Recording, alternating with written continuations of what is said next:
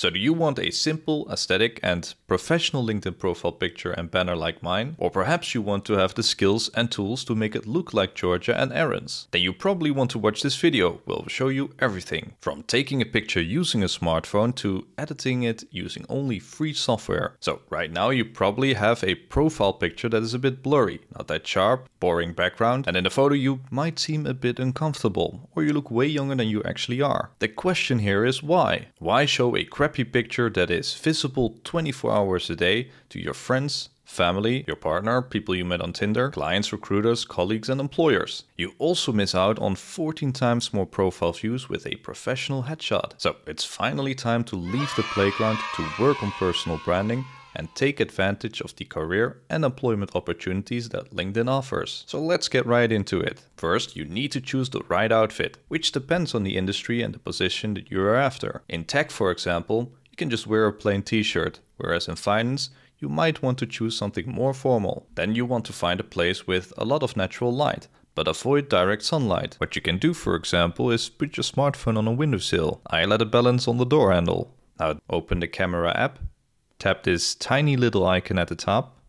Then you press the timer icon and set the timer on 3 seconds. You turn or flip the screen by pressing this icon. Now keep in mind that smartphones have a wide angle lens, which means that close-ups don't entirely resemble how you look. And that's why you need to keep some distance from your phone.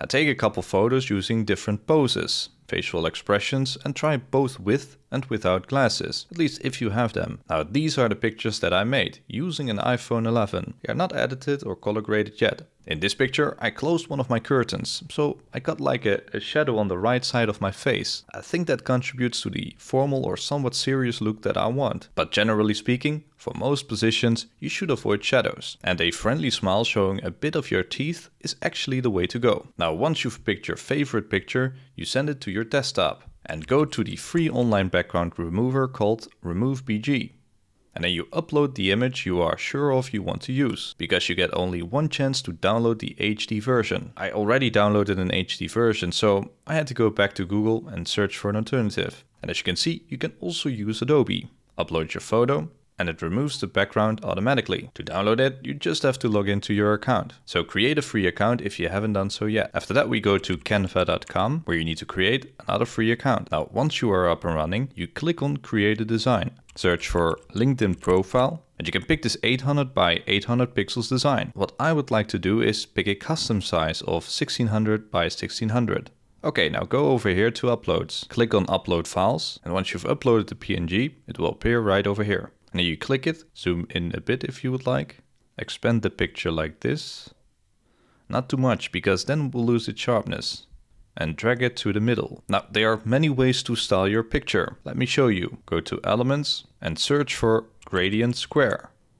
Pick one out, align it properly, then right mouse click and press send backward. Over here you can change the colors. Now don't pick flashy colors unless you are active in the creative sphere. If you are, for example, a graphic designer, painter, musician, or when you want to include the company's brand colors. Alright, so let's remove the background. Search for city, and down here you have many options. Now, if you can't find a suitable and free background, just go to Pexels or Pixabay, where you can download free images. Upload them in Canva and then just move and expand them around like I'm doing right now. And click on send backward. Okay, then we go to edit image, adjust, and you can play around with these settings. I really like to add some blur and or transparency, because that will make my profile stand out from the background. Now, when you click on your profile, then I would suggest you to play around with the brightness, contrast, and saturation, and see what looks best for you. Now, once you're done, give your design a name, and download it as a PNG file. Now we also need a banner. Go back to the home screen create a design, enter LinkedIn banner, and pick this one, the 1584 times 396 pixels. Again, many options, but I like consistency. So I picked the same picture, expand it, and choose which part you would like to be featured. At the same level of transparency, so it matches your profile picture, and if you want to, you can also insert some shapes. So you can include a nice slogan, motto, or whatever. Anyway, I like to keep it simple. Now go to your LinkedIn profile page and click over here.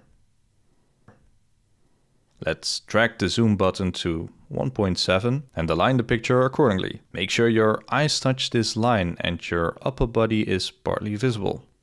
Okay, and then we add the banner. Now let's see what that looks like. Hmm, I would like to zoom in a bit more. And I think that a blurry background would make my profile stand out a bit more. So let me do that and I'll be back.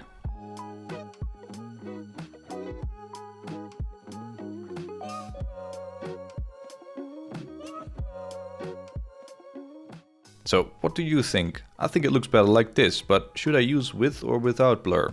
Let me know in the comment sections down below. Okay, so that's it for this video. I hope you found it helpful. If so, then a like is greatly appreciated. And subscribe if you want more step-by-step -step tutorials from me. Thanks again for watching and see you in my next video.